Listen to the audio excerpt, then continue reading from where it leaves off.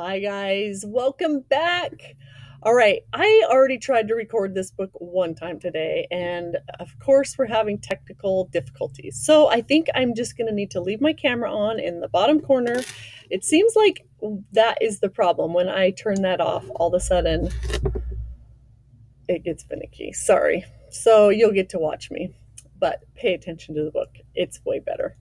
Kat Kong instead of King Kong by Dav Pilkey. Okay, this is a hilarious story. They Dave did it, such a great job.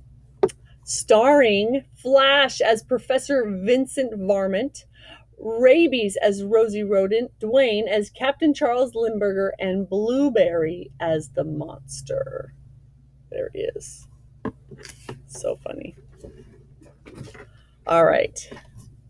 Here we go. I'll try and get the glare off the story.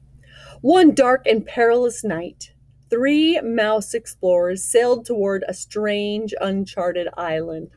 Let's zoom in so I don't have to hold this so hard. Captain Charles Limburger steering the tiny vessel, while Dr. Varmint, Vincent Varmint, and his beautiful assistant Rosie Rodent looked on.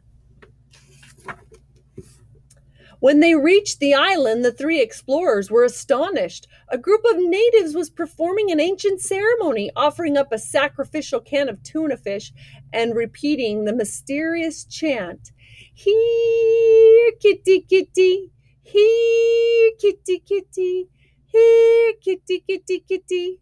Suddenly, the island began to tremble. Crashing through the thick forest came the most frightening creature ever known to mouse kind, the mighty Kat Kong. Meowing and hissing ferociously, the colossal cat took three giant kitty steps and tripped over the tuna fish can. Clunk. Kat Kong bumped his head on the ground and was knocked out cold.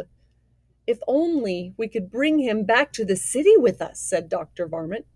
No, replied Rosie Rodent. It would be wrong to take this creature away from its natural habitat just to satisfy our scientific curiosity. Forget science, squeaked Dr. Varmint. Think of all the money we could make.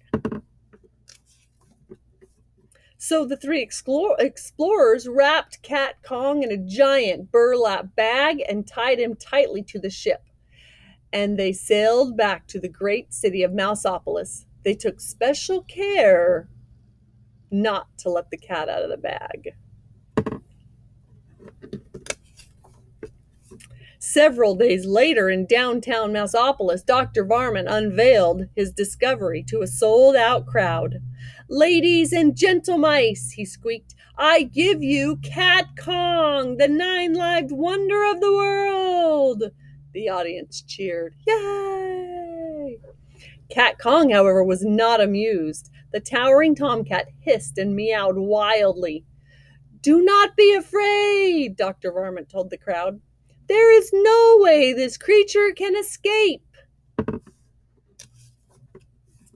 I repeat, there is no way this creature can escape. Well, uh, actually, I could be wrong about that. I love how it looks like he's got like a little dark hair wig there.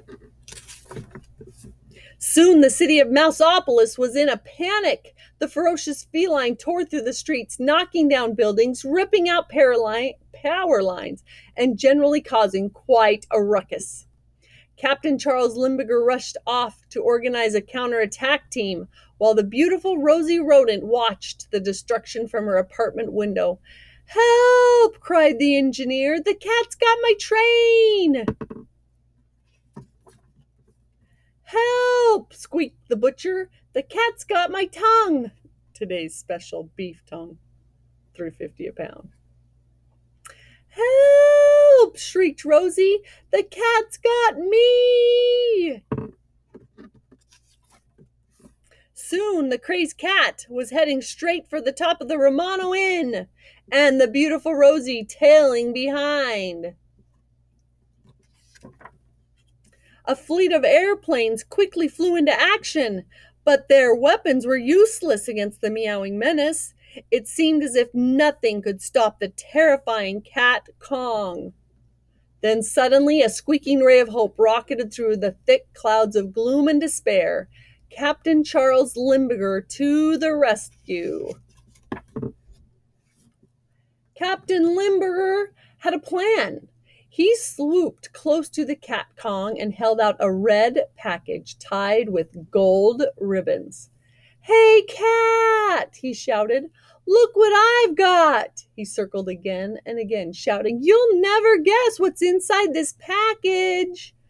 Kat Kong stared incessantly at the red package. With each passing second, the colossal kitty, interest grew. Finally, Kat Kong could stand it no longer. He had to find out what was inside that package. With one swift paw, the puzzled pussycat reached out for the red package and lost his balance. Meow!